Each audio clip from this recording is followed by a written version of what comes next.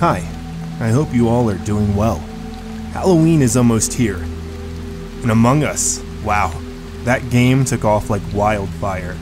It's a small win for 2020, and I think I will take a small win when we all need it most.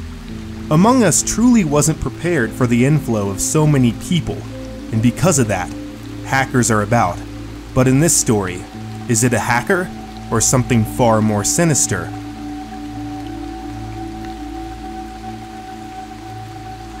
Hi, my name is Seth, and I love Among Us. So naturally, I went to find a match. That wasn't going to be a problem these days. But one match definitely stuck out to me. It had 11 players. I didn't question this.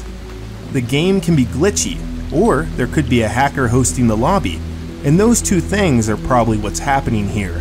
But I joined anyway. I waited for a few more seconds and the game became full with 11 players. Only one problem. I counted, and with me included, there were still only 10 of us. The match began. I was not the imposter. Well, time to do some tasks at least. I kept my eye out for this 11th player, but I didn't see anyone extra at spawn. I moved towards asteroids to do that task. As I walked there, I see Yellow just die right in front of me. What was that? I report the body. At the meeting, it showed the 11th player, and his name was Blank. And its crewmate? Transparent. The 11th player was invisible after all. I had to be careful. I told the crew that our 11th player was invisible. Some people believe me. But you know how this game can be with people. Unless they see it with their own eyes, they're just gonna skip voting. And that's exactly what happened here. I had to be careful. The imposter was invisible and he could strike at any time from anywhere.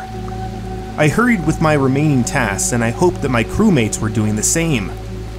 But the bodies started to pile on. Once two more people had died, the survivors were finally up to my idea that this person who was the 11th player might be invisible and might be the imposter after all. Finally! We voted this person off. All of us voted for them. Someone got voted off alright, but it was someone else. How did this happen? When the game started again, an emergency meeting was called. I saw no one at the table. Don't tell me. It was the 11th player. The 11th player typed the emergency meeting, and it read, if you vote me out, I will haunt whoever casts the final blow to me forever. I, like all others, thought this was just a diversionary tactic, and we all still voted this player out for wasting our time and calling a meeting. This 11th player was voted off. We won the match. Just then, I heard my apartment door swing open. I ran to close it. No one was there. Just then, I saw my living room window rise up like someone was opening it. I raced to shut that as well. But when I felt a cold breeze blow in as I was shutting the window, You shouldn't have voted me off. I warned you. where, where was that coming from? I see my carpet get imprinted with footsteps. The person was here right in front of me.